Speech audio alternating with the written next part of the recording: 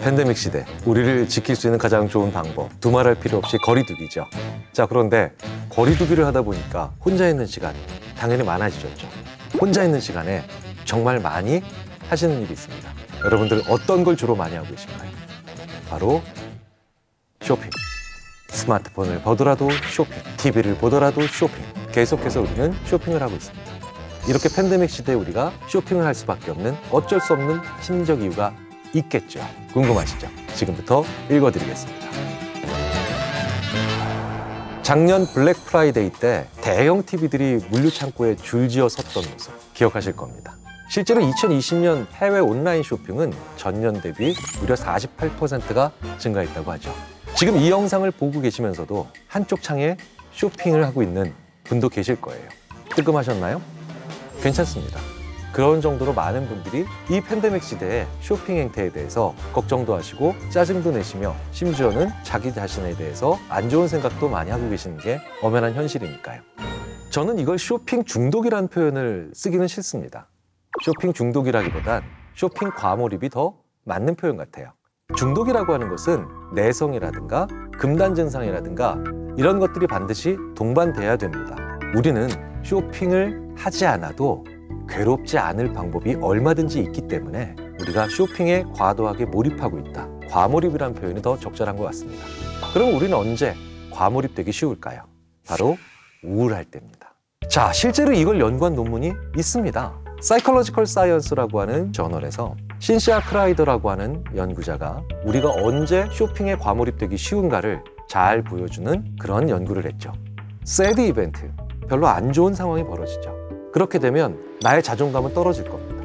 그러면 당연히 이걸 끌어올리고 싶은 욕구가 발생할 겁니다. 무너졌던 나의 자존감 혹은 떨어진 나의 자아의식을 끌어올리는 방법 중에 하나가 바로 뭡니까? 무언가를 소유하는 거죠. 왜겠어요? 소유의 반대가 뺏기는 거죠.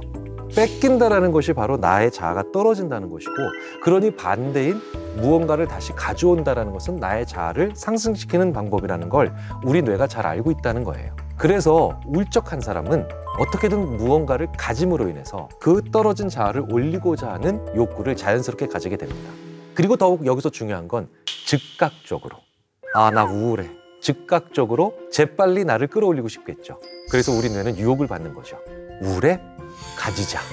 가장 빠른 방법인 무언가를 소유한다는 게 바로 어떤 행동으로 이어지게 됩니까? 바로 쇼핑이죠.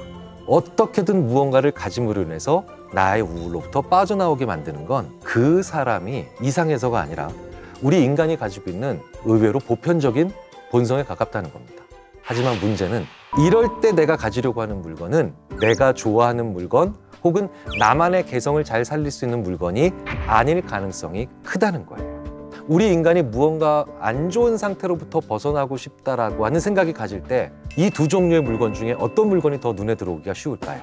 A. 다른 사람들은 가지고 있는데 나만 안 가지고 있는 물건. 다른 사람들은 좋아하지 않아도 나는 정말 좋아하는 물건 B. 안 좋은 상태로부터 빠져나오고 싶은 나의 욕구에 더 잘 부합되는 형태는 당연히 A가 아니겠습니까? 그래서 저는 다른 교수님 연구실에는 다 있는 노트북 받침대를 샀는데 생각해보니 저는 노트북을 안 씁니다. 저는 그 인터넷 쇼핑몰의 VVIP가 됐고요. 자, 그렇다면 이걸 어떻게 해석해야 될까요? 그리고 이 문제에 대해서 어떻게 대처할 수 있을까요?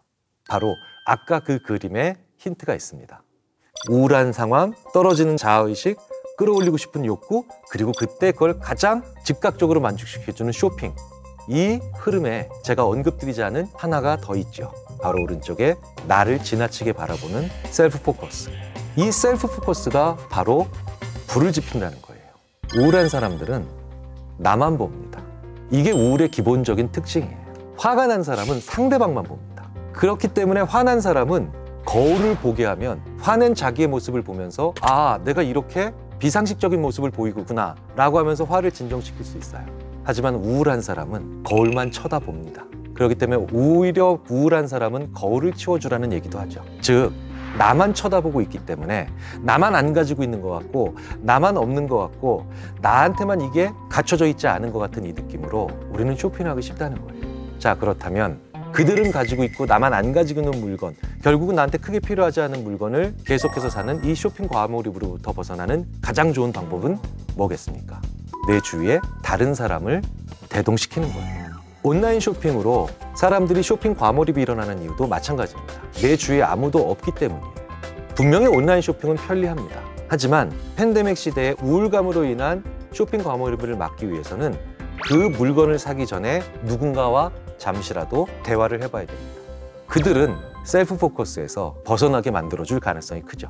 나와는 다른 생각을 가지고 있는 사람들을 좀 더 만나고 난 다음에 그 쇼핑에 한번 다시 들어가 보는 겁니다. 그렇다면 나를 바라보고 있는 생각을 잠시 빼내서 다른 사람들을 바라보게 만드는 혹은 그 물건을 다른 각도로 바라보게 만들 수 있는 안전장치가 될 수 있죠. 쇼핑 과몰입으로부터 벗어나기 위한 또 다른 방법, 새로운 보상 도구를 만드시면 됩니다. 결국은 이 쇼핑이라는 것을 통해 내가 획득한 물건, 소유한 물건을 통해서 나를 끌어올리고 싶은 얘기죠. 그러니까 일종의 나한테 보상하고 싶기 때문에 우리는 쇼핑 과몰입이 일어나게 되는 거죠. 실제로도 야, 너 오늘 나한테 뭔가 칭찬해 줘야 돼. 나 오늘 나한테 무언가 보상해야 돼. 라고 하면서 우리는 쇼핑을 하잖아요. 참 인간은 재밌게도 그 마음의 배고픔을 물건이나 제품으로 채우려고 한다는 거죠. 하지만 이 마음의 허기 혹은 마음의 배고픔을 전혀 다른 방법으로 채울 수 있는 길도 얼마든지 있다는 거죠.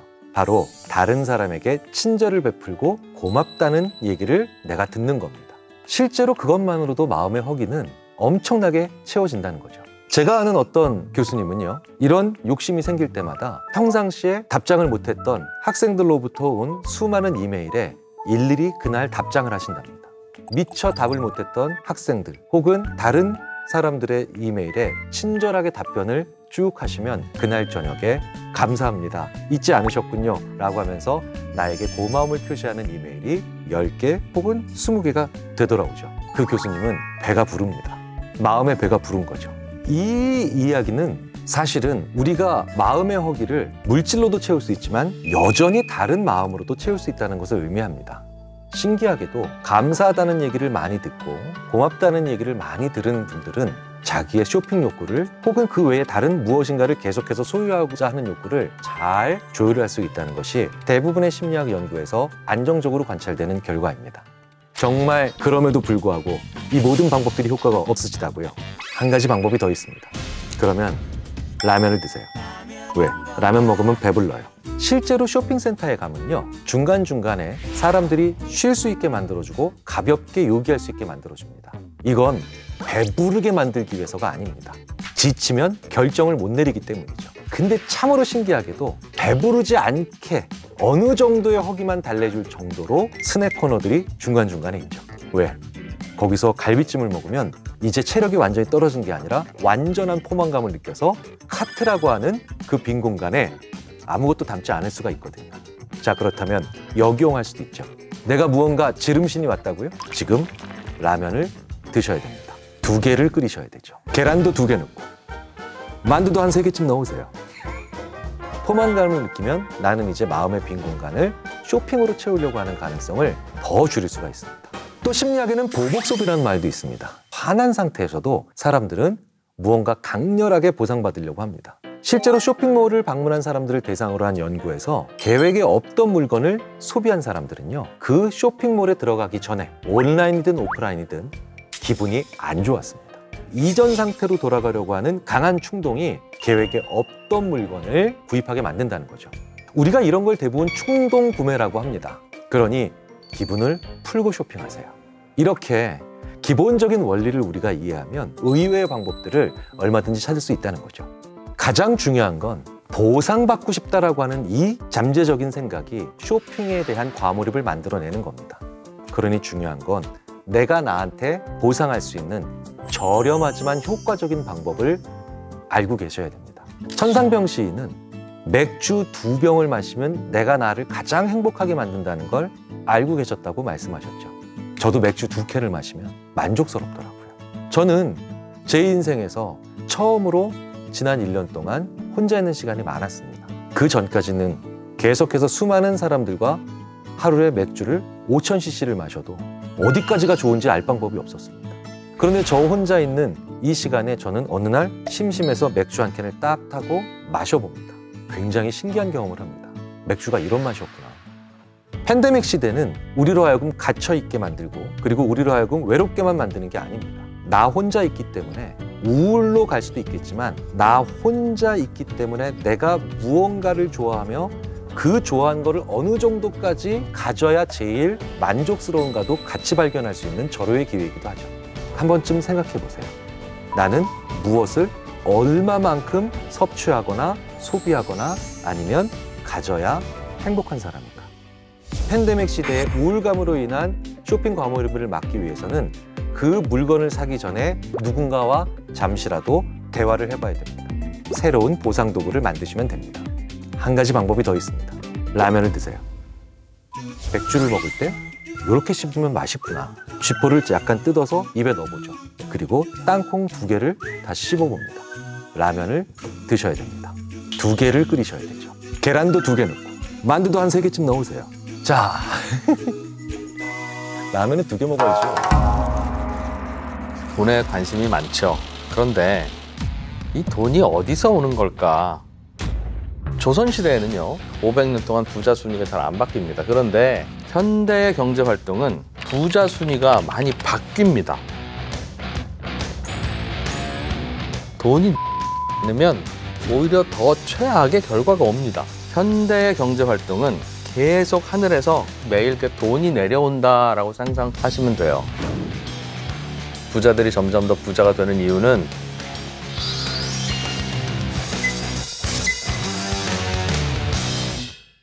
안녕하세요. 저는 22년 차 경제 전문 기자 이진우입니다. 저도 그렇고 여러분도 그렇고 우리는 모두 돈에 관심이 많죠. 그런데 이 돈이 어디서 오는 걸까?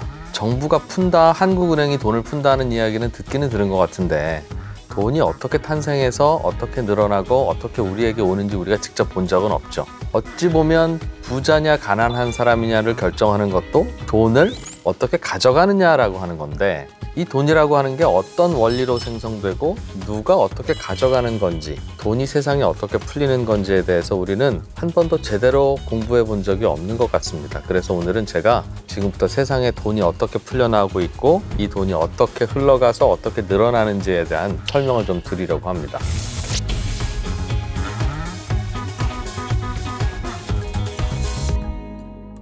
우리는 요즘 부자는 점점 더 부자가 되고 가난한 사람은 점점 더 가난해진다라고 말합니다. 그리고 부자들이 점점 더 부자가 되는 이유는 부자들이 가난한 사람의 돈을 빼앗아가고 있기 때문이다 라고 설명합니다. 마치 부자하고 가난한 사람이 서로 시소를 타면서 부자가 내려가면 가난한 사람이 올라가고 이렇게 시소를 타는 것과 같다고 우리는 생각해요.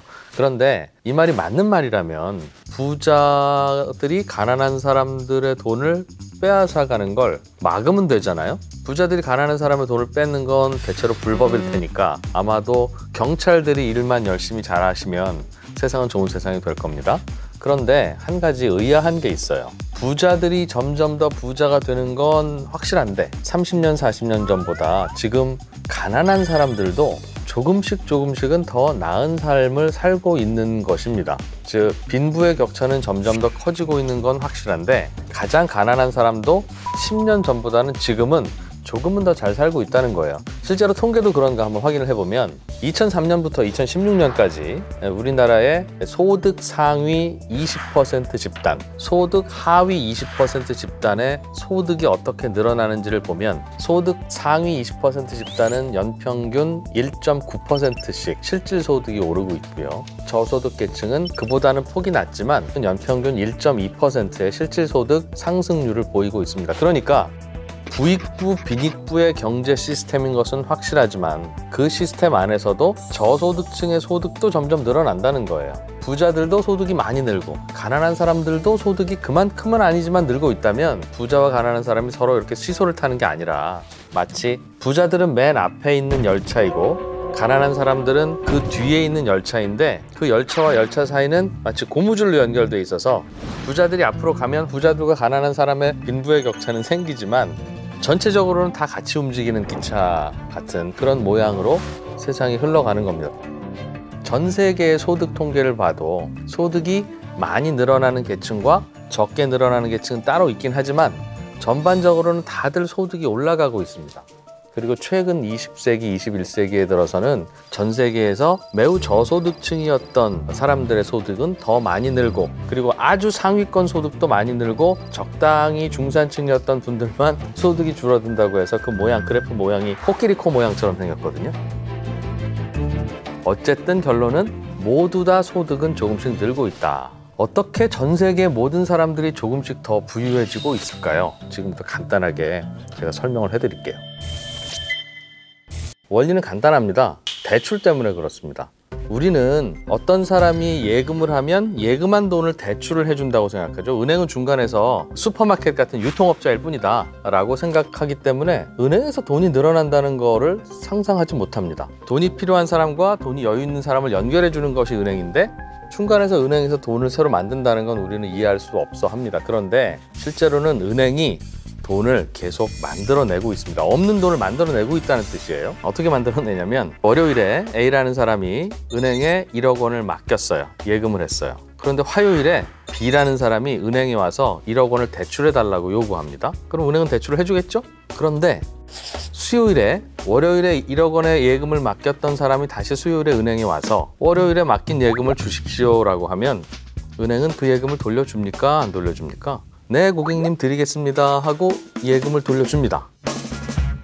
B는 자기가 빌린 돈으로 1억 원짜리 스포츠카를 살 수가 있고 A는 월요일에 맡긴 돈을 수요일에 다시 찾아서 역시 1억 원짜리 스포츠카를 살 수 있습니다. 월요일에는 전 세계에 돈이 1억 원밖에 없었는데 A, B가 화요일에 와서 1억 원을 대출을 해주는 순간 A도 1억 원이 생기고 B도 1억 원이 생겨서 수요일에 스포츠카 판매하는 분은 차를 두 대를 팔 수 있습니다. 1억 원짜리 차를. 이렇게 세상에 돈이 1억 원이 갑자기 늘어난 건데 이 1억 원은 어디서 늘어났겠어요?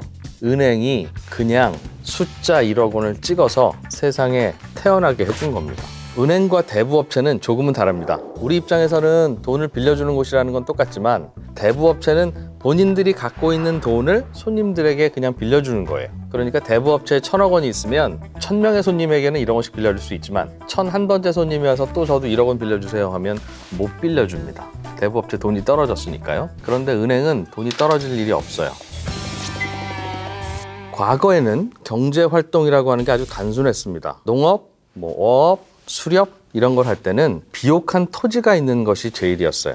비옥한 토지를 찾아서 농사를 짓고 만약 더 부자가 되고 싶으면 비옥한 토지를 전쟁으로 빼앗아 오면 됩니다. 그래서 부자가 누군가가 되면 누군가는 가난한 사람이 되는 이런 제로섬 게임을 하던 것이 과거의 우리 인류의 역사였습니다. 그런데 현대의 경제 활동은 계속 하늘에서 어, 마치 장마철에 비가 내리고 겨울에 눈이 내리듯이 조금씩 조금씩 매일 그 돈이 내려온다라고 상상하시면 돼요. 매일매일 하늘에서 천 원짜리, 만 원짜리 지폐가 떨어져 내린다고 생각을 해보죠, 우리. 이게 꼭 좋은 일은 아닙니다. 왜냐하면 떨어지는 족족 이 돈을 누가 쓸어 담느냐의 게임을 해야 되는데 그래서 우리는 이 게임을 힘센 사람이 가져가는 게임으로 하지 않고 누가 더 좋은 제품과 서비스를 만드느냐 경쟁을 벌이면서 서로 가져가도록 그렇게 룰을 만들어 놨습니다. 그래서 현대 사회에서는 부자 순위가 많이 바뀝니다. 조선 시대에는요, 500년 동안 제일 부자였던 사람이 부자였던 사람의 아들이 계속 부자였어요. 1400년에 최고 부자였던 사람은 그 조선을 전부를 갖고 있던 태조 이성계였겠죠. 그리고 500년 후에 1900년에 가장 부자였던 사람은 이성계의 직계 자손 마지막 왕이 됐던 고종, 어, 이름은 이명복. 이분이 제일 부자였어요, 그냥. 제한된 토지가 부의 원천인 시대에서는 토지를 많이 갖고 있는 사람이 제일 부자인 거니까요. 그런데 제일 부자가 왕이잖아요. 그럼 왕의 토지를 어떻게 뺏어옵니까? 그게 반역이죠. 그래서 조선시대에는 500년 동안 부자 순위가 잘 안 바뀝니다. 그런데 지금 전 세계 1위 기업이 어디죠? 애플이라는 회사인데요. 이 애플은 50년 전에는 존재하지도 않았던 회사였습니다. 그런데 그 회사가 지금은 세계 1위의 기업이 되어 있습니다. 돈의 양이 계속 늘어나는 현대 사회는 누가 더 좋은 제품과 서비스를 만드느냐 경쟁을 벌이면서 서로 가져가도록 그렇게 룰을 만들어 놨습니다. 누군가는 벌어들일 텐데 그걸 잘 벌어들여서 키운 기업입니다. 그래서 돈이 계속 매일매일 늘어난다는 건 이 과거의 경제 시스템과 현재의 경제 시스템을 구분하는 가장 큰 특징이고 이런 상황이 전 세계에서 벌어지고 있습니다라는 걸 이해를 해야 우리는 투자를 어떻게 하는지도 알 수가 있어요. 내가 듣기로는 미국의 연준이라는 곳이 양적 완화를 해서 돈을 계속 세상에 풀어댄다고 들었다. 그렇게 하면 또 돈의 양이 늘어나는 거 아니냐? 맞습니다. 그렇게 늘어나기도 합니다. 제일 처음에는 돈이 잘 안 풀리면 금리를 낮춰서 대출을 더 많이 받도록 그렇게 유도를 하는데 그래도 잘 안 늘어나면 알고 계시는 양적 완화라는 수단으로 중앙은행이 돈을 찍어서 시중에 채권 갖고 있는 사람의 채권을 사들입니다. 그러면 그분의 주머니에는 채권이 있다가 현금이 있는 걸로 바뀌겠죠.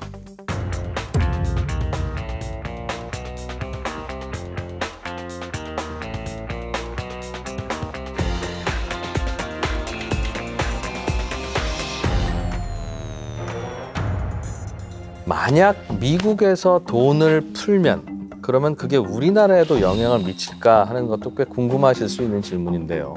이건 돈을 풀 때만 그런 게 아니라 우리나라가 수출을 잘해서 무역 흑자를 기록하면 역시 해외에 있는 달러가 우리나라로 들어옵니다. 달러가 우리나라에 들어오면 어떤 일이 벌어지냐면 한국은행이 돈을 찍어서 그 달러를 사들입니다.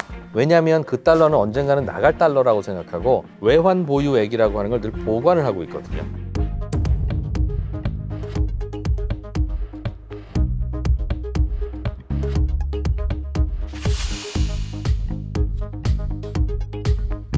그래서 해외에서 달러가 들어오면 그건 한국은행이 사들이는데 한국은행이 사들인다는 건 한국은행이 찍은 돈을 시중에 내놓는다는 뜻입니다. 그렇게 대출 창구에서 돈이 늘어나고 또 미국이 양적 완화를 통해서 또 해외에서 우리가 물건을 판 무역의 결과로서 흑자를 거두면서 우리나라에는 계속 돈이 늘어나고 있습니다. 와, 그럼 세상에 있는 돈은 계속 늘어나기만 하고 이건 누가 컨트롤을 못 합니까? 이렇게 되면 일이 좀 커질 것 같은데요 하는 걱정이 혹시 드실 수도 있겠어요. 맞습니다. 많은 부작용들이 생기고 현대 경제 시스템의 많은 고민은 이렇게 늘어난 돈을 어떻게 하지 라고 하는 고민이 대부분이에요. 그러나 돈이 늘어나지 않으면 오히려 더 최악의 결과가 옵니다.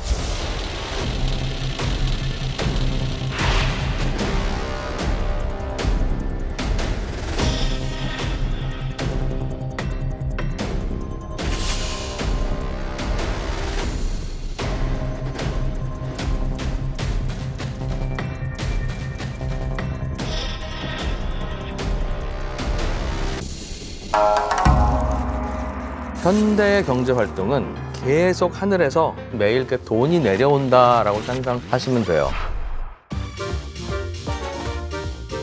그러나 세상 일이 좋기만 한 게 어디 있어요. 그때부터 약간 문제들이 벌어지기 시작합니다.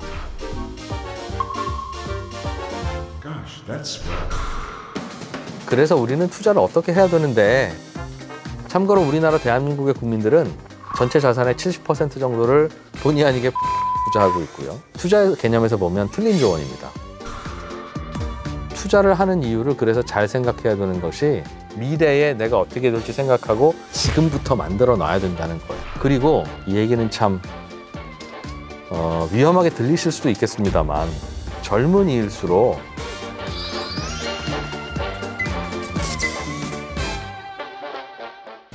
세상의 돈이 점점 더 많이 늘어나고 있고 그 늘어나는 돈이 어떠한 결과를 가져오는지에 대해서 간단하게 설명을 해드렸는데요.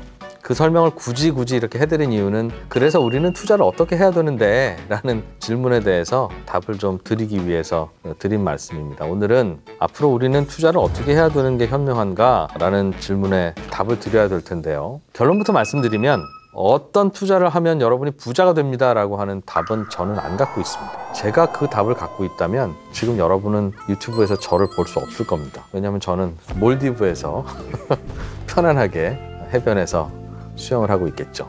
그 어떤 경제 전문가도 그 어떤 투자 전문가도 정답은 알고 있지 않습니다. 그렇지만 우리가 투자를 함에 있어서 알아야 할 원칙은 좀 있는 것 같습니다. 그걸 여러분께 말씀드릴게요.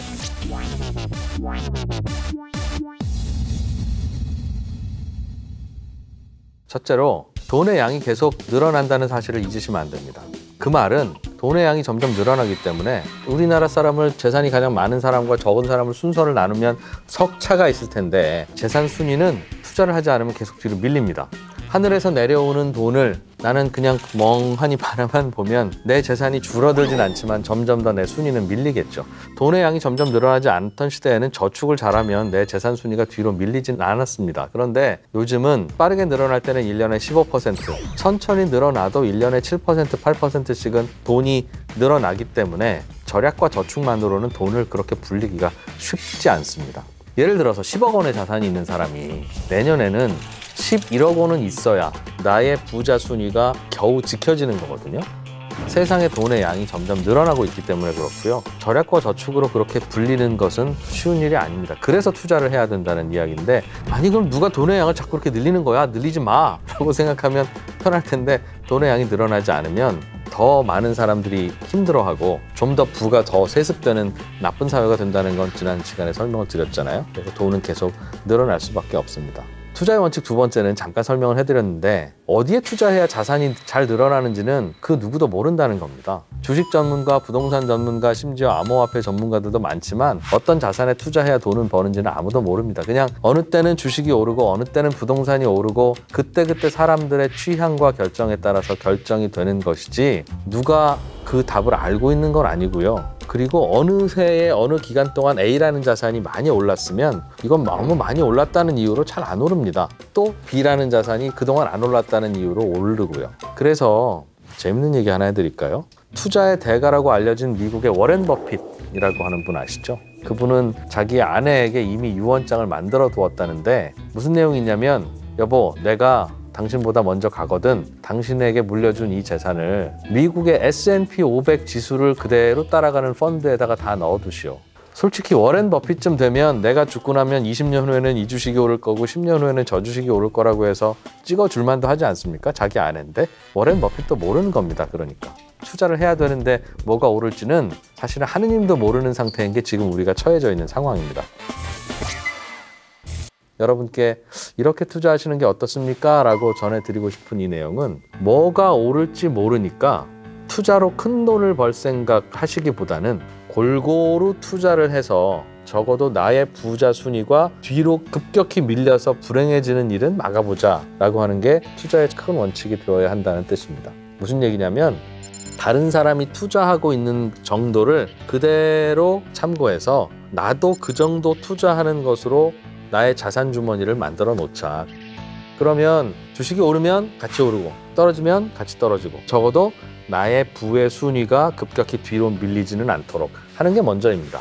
참고로 우리나라 대한민국의 국민들은 전체 자산의 70% 정도를 본의 아니게 부동산에 투자하고 있고요. 그리고 나머지 20%를 금이나 주식이나 코인이나 다양하게 투자를 하고 있습니다. 자산을 나도 그렇게 배분을 하는 겁니다. 부동산 70, 주식 20, 현금 10, 뭐 대략 그렇게. 우리가 투자를 하는 이유를 그래서 잘 생각해야 되는 것이 남보다 많은 돈을 갖기 위해서 투자를 한다라고 생각하면 그건 답이 없는 겁니다. 우리가 눈에 자꾸 띄니까 그렇게 돈을 버는 걸로 착각하시지만 긴 시간을 놓고 보면 투자를 통해서 남보다 더 많은 돈을 번다는 건 결과적으로 있을 수는 있는데 운의 영역입니다. 투자는 가만히 있으면 내 부자 순위가 뒤로 밀리는 세상이니까 그것을 지키기 위해서 투자를 한다라고 생각하셔야 투자가 올바른 방향으로 갑니다. 투자를 해서 돈을 잃는 게 두려운 게 아니라 남들이 투자로 다 돈을 버는 어떤 일정한 시기에 상대적으로 내가 가난해지는 것을 막는 거 이게 이제 투자의 목적이 되어야 되는 거고요. 그러다 보니까 때로는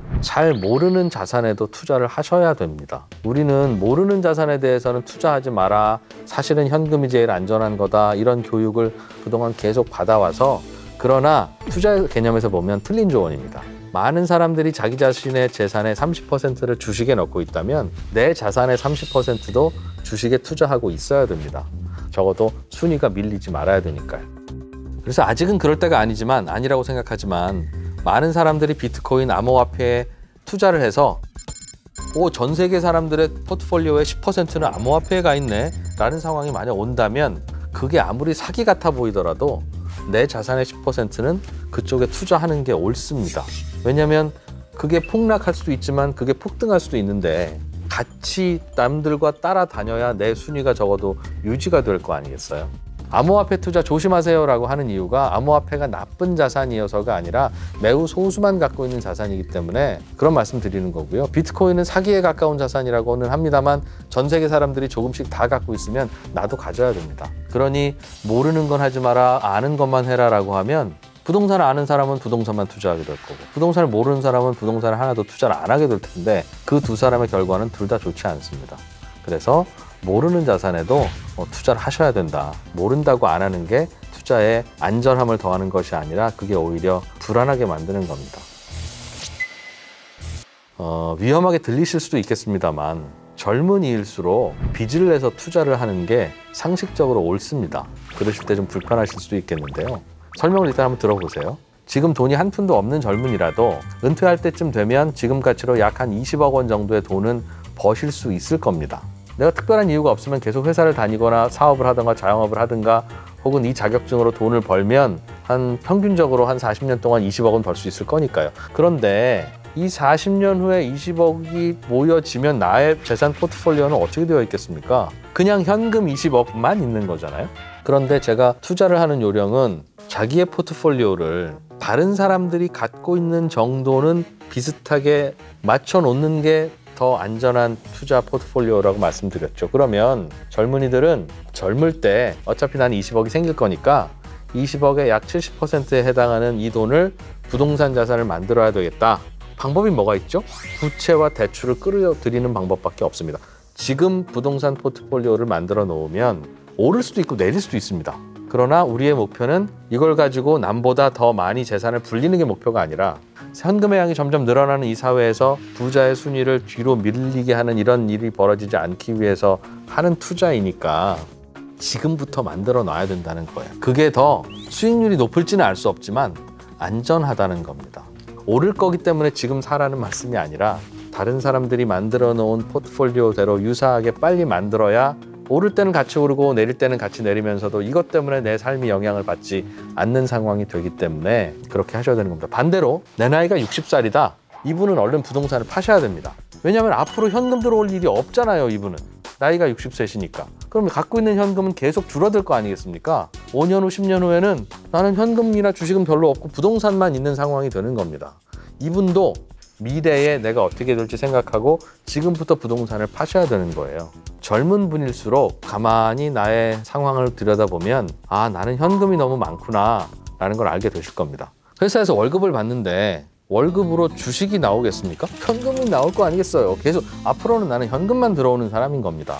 그런데 자산 전체를 현금으로 만들면 안 되니까 빨리 현금이 아닌 자산을 젊을 때는 만들어야 되는 거고요. 그래야 전체적인 포트폴리오가 무너지지 않는 거죠. 그리고 그 과정에서 돈이 필요하면 과감한 대출이 필요하다.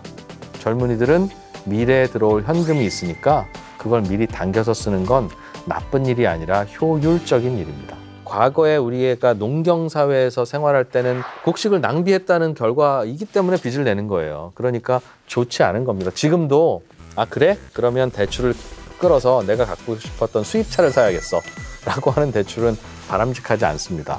그러나 어, 자산 포트폴리오를 만들기 위해서 대출을 활용하는 것은 젊은 나이일수록 적극적으로 활용을 해야 그 포트폴리오가 빨리 만들어집니다. 부동산 70, 주식 20, 현금 10이 바람직한 포트폴리오는 아닙니다. 결과적으로는 어떤 게 더 좋은 수익을 낼지는 알 수 없어요. 워렌 버핏은 주식 90, 부동산 5, 현금 5가 제일 좋다고 해서 본인도 그렇게 살잖아요. 그리고 본인은 집 한 채밖에 없다고 하지 않습니까? 누가 맞을지는 모릅니다. 그러나 우리의 투자 목표가 적어도 자산 가격이 움직이는 과정에서 자산 순위가 뒤로 밀리는 걸 막기 위해서 하는 것이 투자라면 포트폴리오를 짜야 된다. 부자 순위를 앞으로 뛰어나가게 하는 방법은 나 자신의 몸값을 높이고 내가 더 열심히 사업을 하거나 더 열심히 일을 해서 남보다 더 많은 돈을 버는 것, 그 과정을 통해서 순위를 앞당기는 겁니다. 그렇게 번 돈을 투자했는데 요행이 돈이 잘 벌릴 수는 있으나 그것은 그냥 행운인 것이고요. 축하드리고요. 그러나 그게 방법이자 방향이 돼서는 안 된다. 그래서 세상이 돈이 이렇게 많아지고 그로 인해서 많아지는 돈을 어떻게 굴려야 할지 다양하게 고민하는 이 현대사회 시스템을 에, 간단히 설명드렸고요. 여러분이 아마 상식적으로 알고 있었던 것과는 좀 다른 이야기일 수도 있었겠으나 어, 그렇게 생각하는 게 한 번쯤 생각해 볼 만을 하겠네라는 생각이 혹시 드신다면 어, 이 영상을 보신 여러분들은 시간을 투자하신 보람이 있으신 거겠네요. 고맙습니다.